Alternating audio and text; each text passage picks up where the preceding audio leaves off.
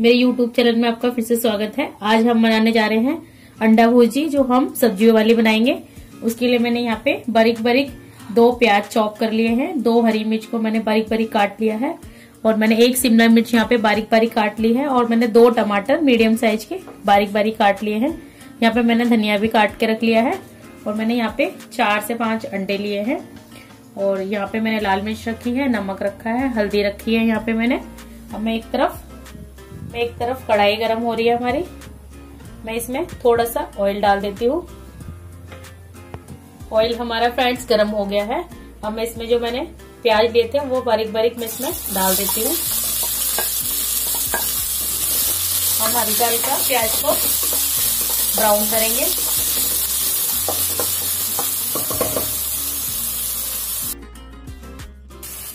एक तरफ़ हम ये अंडे फोड़ लेते हैं।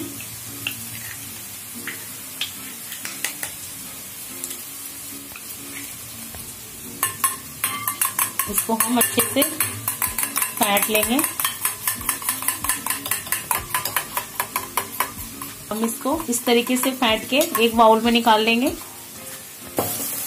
प्याज हमारे हल्के हल्के ब्राउन हो गए हैं। अब मैं इसमें ये शिमला मिर्च डाल देती हूँ, जो मैंने हरी मिर्च ली थी, ये भी मैं इसमें डाल देती हूँ। इसको मैं हल्का हल्का गला लूँगी। मैंने शिमला मिर्च डाल के इसको हल्का हल्का हिला लिया है। अब मैं इसको टमाटर डाल के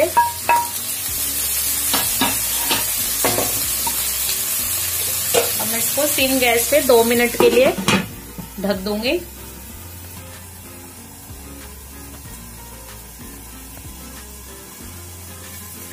दो मिनट हो गए हैं, अब हम इसको देख लेते हैं।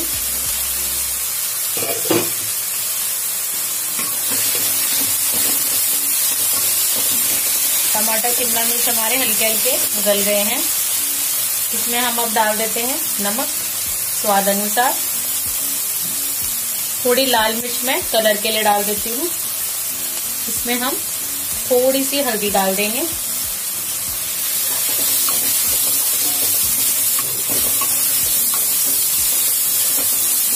ये सब्ज़ियाँ हमारी अच्छे से सारी भून गई हैं, गल भी गई हैं।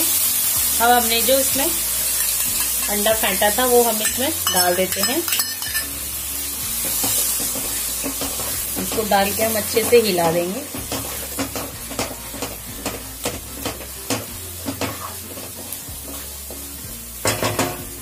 इसको हम दो मिनट के लिए सिम गैस पे ढक देते हैं।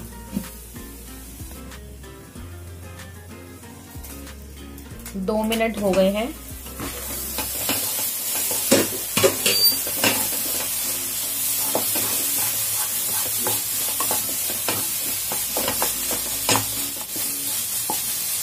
हम अंडा डालने के बाद इसको हम ज़्यादा नहीं भूनेंगे। अगर हम इसको ज़्यादा भून लेंगे, अंडे की जो अच्छी चीज़ें होती हैं, वो सारी भूनने से निकल जाती हैं। फ्रेंड्स, देखो भुजिए बन के हमारी बिल्कुल तैयार है। इतनी बढ़िया बनी है। इतना बढ़िया कलर आया है। लास्ट में हम इसमें हरा धनिया डाल देते हैं।